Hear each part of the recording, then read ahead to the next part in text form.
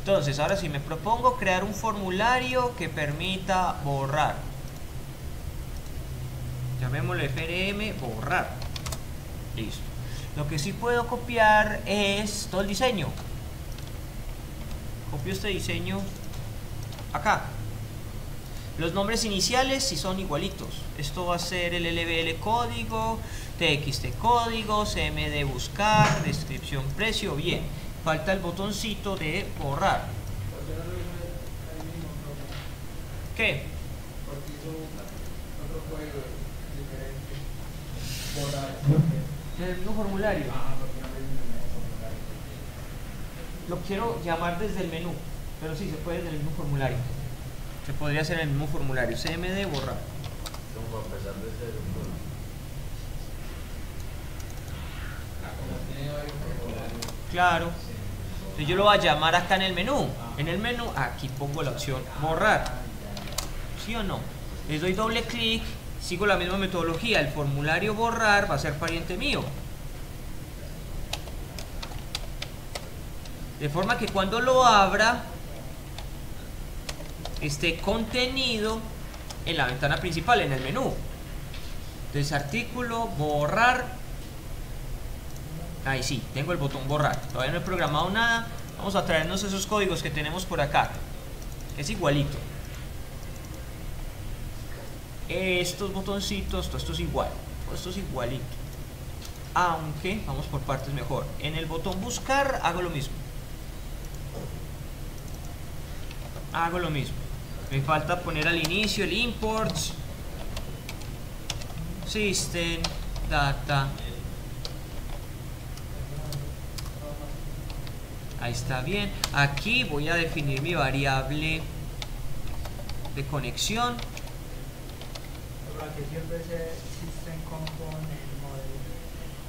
Eso era otra prueba que estaba haciendo cuando diseñé ese formulario. Era para poner otros objetos en pantalla, pero no los usé al final. Listo. Buscar ya está listo. Ahora voy a programar el evento load.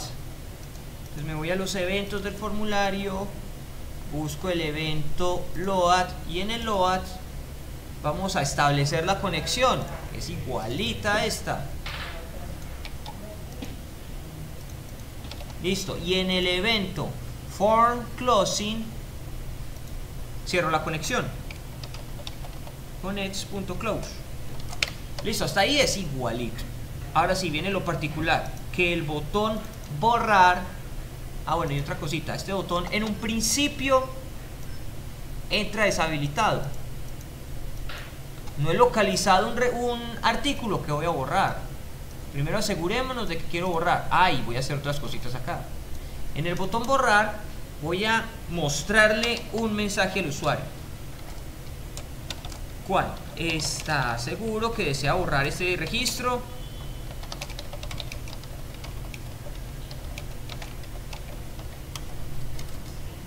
¿Cierto? Normalmente cuando uno borra alguna alerta le dice, ¿está seguro? ¿Desea continuar? Sí, no, ¿cierto? Sí o no. Entonces ahora voy a, voy a poner en práctica algo adicional del MSG Bots y es, él tiene varios parámetros. Hasta ahora solamente he usado uno. ¿Cuál? El título, el texto. Pero si yo le doy coma acá, o de hecho cuando yo lo escribo, él me muestra acá. Él me muestra cuáles son todos los parámetros del Messages Bots. Él tiene, para empezar, algo que llama prompt. Y ese prompt no es más que el mensaje. ¿Sí? O lo que él llama el string, expresión de tipo string que se muestra como mensaje. Por eso solamente hemos usado uno, pero no es el único, hay más. Por acá después me dice que... Ah, se me puso clarito. Ahí está. Ay, auxilio. Ahí sí. El segundo parámetro es algo que él llama buttons. Y esos buttons se refieren a el estilo del mensaje. Por defecto, él tiene un botón, pero tiene varios. Miremos por aquí en la, referencia de Microsoft MSG Bots. Visual Basic. Bueno, lo escribí mal, pero aquí me lo recoge. Esto es, miren esto. Él retorna un valor. Y este es el estilo. El estilo se refiere a cuál va a ser la forma en que se despliega ese botoncito. Normalmente solamente aparece el botón OK. Pero yo podría decirle, bueno, además muéstreme el botón cancelar, aceptar y cancelar. Muéstreme las opciones de anular, reintentar y omitir. O muéstreme botones sí y no y cancelar. Muestre los botones sí y no. Entonces a eso es a lo que voy a acudir. Voy a cambiar el estilo de ese MSG Bots. Entonces, viene acá. Después del texto viene el estilo. Velos ahí, tal cual. Dependiendo de lo que yo seleccione aquí, va a ser esa alerta. Listo, ponga, hagamos pruebas. Pongamos primero la crítica. A ver qué, qué significa esto. Voy a ejecutar esto. Llamo al formulario de borrar. Voy a buscar un producto. Listo. Ah, no prendí el botón. Me falta prender el botón. Entonces esto es aquí. Cuando le den clic al botón buscar, si lo encuentra, si lo encuentra, enciendo, habilito mejor el botón borrar. Vamos en true. Listo. Artículo, borrar, busco el producto 1, ya ahí está disponible y le doy borrar. Esto, ese signito, esta X que ven acá, es el critical. Ese es el estilo crítico. Listo, voy a cambiarlo. Otros estilos que puede tener mi Messages Bots. Punto. Defa, exclamation. Pongamos information. Information. Veamos qué cambio hay.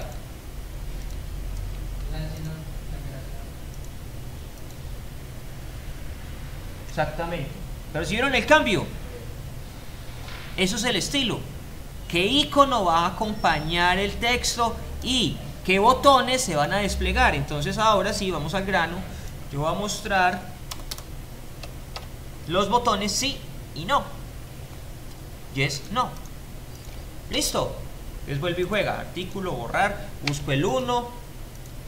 Borrar. Ah, ¿está seguro de que desea borrar este artículo? Ah, esto es lo que necesito. Sí o no. Va bien. Hasta ahora no he programado qué voy a hacer si le dan clic en sí o qué voy a hacer si le doy clic en no. Pero ya está disponible. ¿Sí? No. Ok. ¿Cómo programo eso? Entonces, yo voy a llevar, lo que me dice aquí esta referencia de Microsoft es que el Messages Bots, MSG Bots, devuelve un valor, un retorno. ¿El que puede retornar? Un numerito. Si me retorna uno, ¿eso qué significa? Que le dieron clic al botón OK. Si, le, si me retorna 2, significa que me han dado clic en el botón cancel, etcétera, etcétera. Entonces, ¿a mí qué valores me importan? el 6 y el 7. Si él me retorna el número 6, significa que le han dado clic al sí. Si él me retorna el número 7, significa que le han dado clic al no. Entonces validemos eso. Es un valor numérico. Entonces voy a crear una variable x como entera. Y ese x que reciba el MSG bots. Lo vémoslo. ¿Qué pasó aquí? Ah, se me escapó un simbolito. Y por aquí para verificar, digámosle, muestre, muéstreme que hay en X. Listo. Entonces arranca. Artículo, borrar, busco el 1. Le doy clic a borrar. ¿Está seguro? Sí. 6. Borrar. ¿Está seguro? No. Ya sabemos por qué sale 6 y 7. ¿Sí o no? Entonces, valide. Valide. Si el contenido de X es 6, ¿Eso qué significa? El 6 significa yes. O sea que sí lo va a borrar. ¿Cierto? Entonces bórrelo. Y por aquí va a poner dato borrado satisfactoriamente.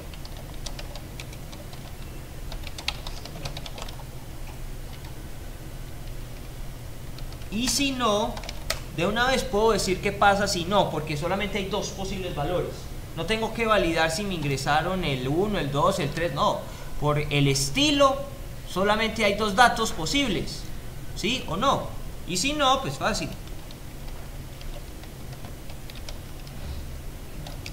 No se puede borrar el registro. o no ha sido borrado, no lo he encontrado, algo así. Listo. Muy bien, ahora qué falta? Llevar a cabo la acción. Listo, ya lo encontró. Ya lo encontró.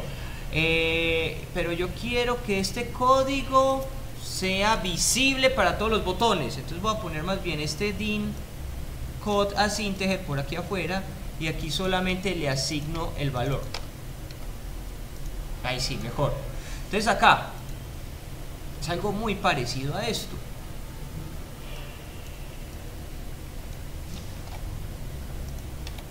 Solo que ya mi consulta cambia. Es un delete from la misma tabla where ID igualito, igualito, igualito, igualito, igualito, igualito. Aquí cambia. Aquí cambia. Delete, uy, sí. Front. Mejor. Esto es igual, igual, igual, igual, igual. Listo. Acá ya no necesito un SQL data reader. No necesito el reader. Necesito una variable entera. Y aunque en realidad yo no necesito esa variable de hecho. No necesito esa variable.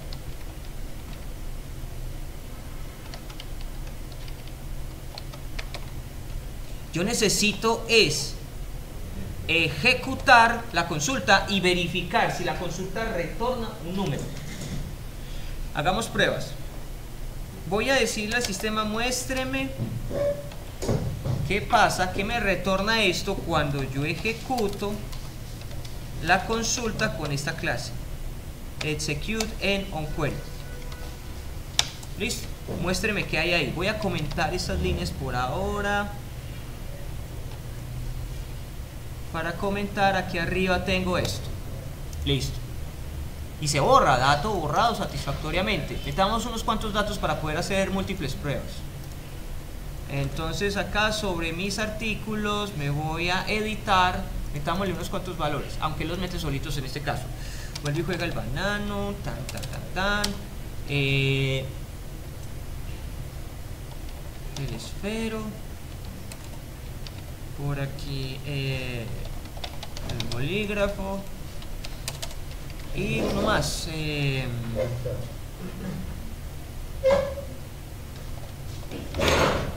ok. Ahí están mis productos. Entonces voy a empezar a trabajar con ellos. Inicio. Invoco a borrar. Búsqueme el 1. Lo encuentra. Bien. Ah, quiero uno de los últimos. El 8. Ahí, mejor. Clic a borrar. ¿Está seguro que desea borrar este artículo? No. No se puede. Ah, no. No se borra el rato. ¿Por qué le puse no se puede borrar? sí, tenía razón. Listo. Entonces, ¿está seguro que desea borrar? Sí. Me retorna 1. ¿Qué significa ese 1? Se ejecutó la consulta. ¿Y a cuántos datos afectó? A 1. Listo. Dato borrado satisfactoriamente. Le voy a dar 99. Borrar. ¿Está seguro que sea? Sí. Me retornó 0. ¿Por qué me retornó 0? No lo encontró. No lo encontró. Listo. Entonces, ya tengo contra qué validar. Ya sé que el execute en onQuery o me retorna 0 o me retorna 1. Entonces validemos con ese datico. Si esto es igual a 1, eso significa dato borrado satisfactoriamente. Y si no, porque yo solamente sé que hay otro valor posible que es el 0, no se ha borrado. Listo. Aquí quité algo. Que quité, me falta un si no. Si no, y me falta el fin sí. ¿Y ¿Qué es esto? Ahí sí. Y si no, entonces si no es porque el usuario le dio clic al botón no. Entonces le confirmo. Eh, proceso cancelado, puede ser mejor.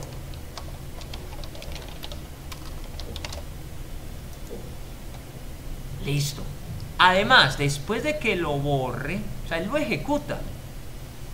Lo ejecuta y me, va a decir, ¿es 1 o es 0? Después de que lo ejecute, yo voy a deshabilitar el botón borrar.